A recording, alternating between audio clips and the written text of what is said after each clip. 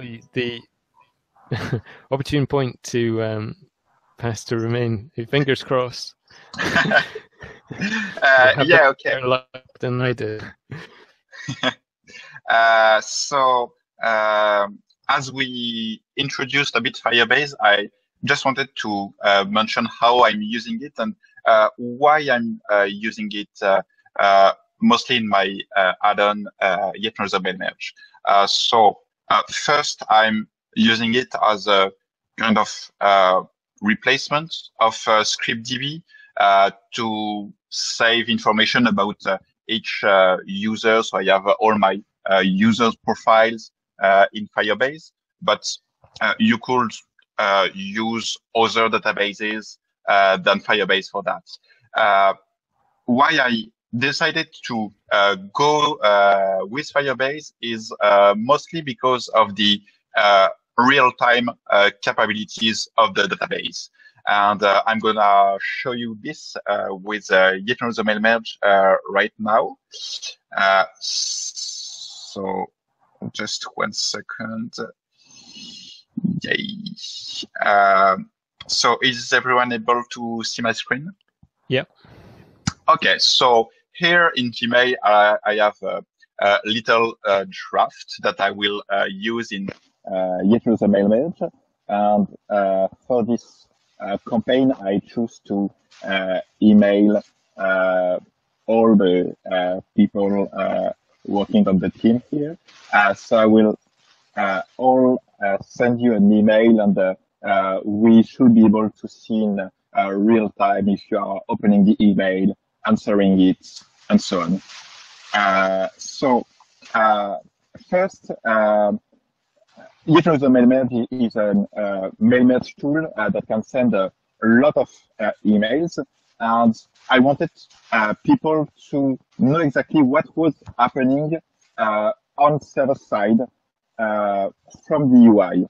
And uh, for that, I didn't want to uh, do back and forth between the client and the server every time an email was sent, but I wanted still to tell people when an email was sent.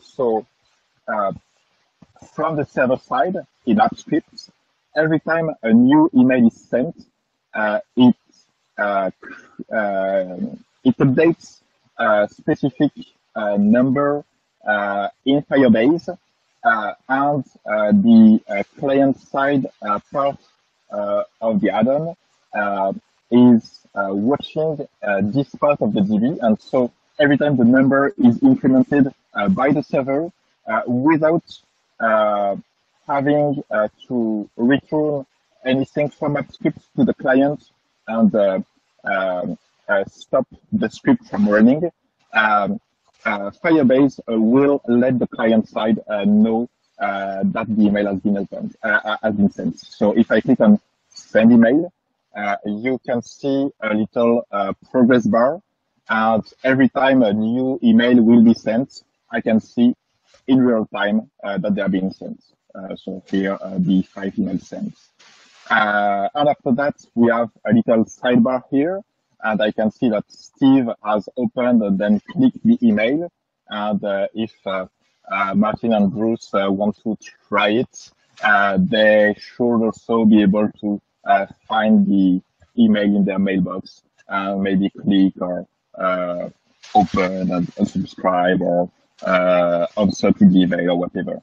the thing is, you can see that the sidebar here is updated in uh, real time uh, thanks to uh, Firebase. So every time someone open an email, uh, we record an information in Firebase, and as the uh, client side uh, of the app of uh, Yet Another Mail Merge is using Firebase in real time, we get the info, and then I use a simple Google Scripts run command to update also the info in the spreadsheets. That's all. And that really is a wow factor for me because you're updating the database, and then based on some odd event on the client side, it's bang, it's there. I just think that's, I don't know if there's any other tools or methods that can actually do that. Uh, good question. I suppose there are, uh, but yeah, Firebase was uh, really easy to implement, and while it has the additional benefit of uh, being uh, part of uh, the uh, Google ecosystem, uh, meaning that uh, all uh, the data are stored on Google servers. I only pay one bill, and well, I everything is connected to the same cloud console project and so on. Uh, so for me, it was a real benefit. Bruce, did uh, did you want to come in with anything on that? Um, I just wanted to say that the way that you you generally interact with Firebase is interesting as well, because you um, because it's a real time database. Um, it's driven by by events. So in other words, if anybody updates, there's a kind of a copy of the database kept in your client. So if anything update gets updated on the regular one, it synchronizes to your client and then calls back a function in your, um, in your app, which then is able to um, react to a change that's been made. So in fact, you're being told about changes that get made to the database. You're not actually going to check. So it's kind of a push notification is what's happening. It's really, really good. Uh, it's really nicely done, actually. Yeah, it's actually uh, using uh, WebSockets. Um, and uh, yes, it's uh, way better than uh, having to pull uh, data every uh, seconds or whatever. Uh, yeah. Oh, great example. Um, we've uh, we've actually got a bit of time left. So, uh, Bruce, do you, you you've also got a, another example of using Firebase with um, some frameworks? Actually, yeah. Give me a second till I just get there. Um, I don't know where it is right now. We've got uh, while you do that, I have one other question for uh, Romain. Um, can you uh, monitor more than one click in your email messages, or is it limited to one-click events? Uh, no, no, we could uh, monitor. Uh, well, this uh, this is not exactly uh, related to AppScript, uh, so we well, no, because we couldn't make a redirect. We could use cloud functions for that. Uh, but anyway, uh, uh, what I'm doing is uh, simply, uh, uh, so when you create your draft in Gmail, and then you use YAMM to send the email, I will get the draft, find the links, find the URL in the in this draft, replace the, those URLs by a specific uh, URL of uh, web service that I own. Uh, and so when I will send the emails, then when I when a recipient receives it, open it, and click on the link, it will go through my server first. I will record the fact that he has opened the email, uh, and then I will redirect him to the original internet URL.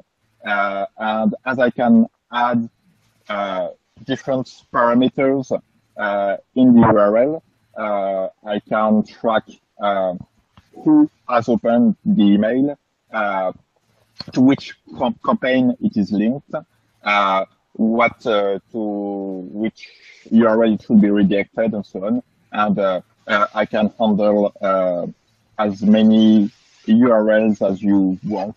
Uh, in fact, uh, within uh, weird emails uh, being sent with YAMM, uh, yet another mail merge, and uh, some people are like more than have more than like a hundred links in their emails.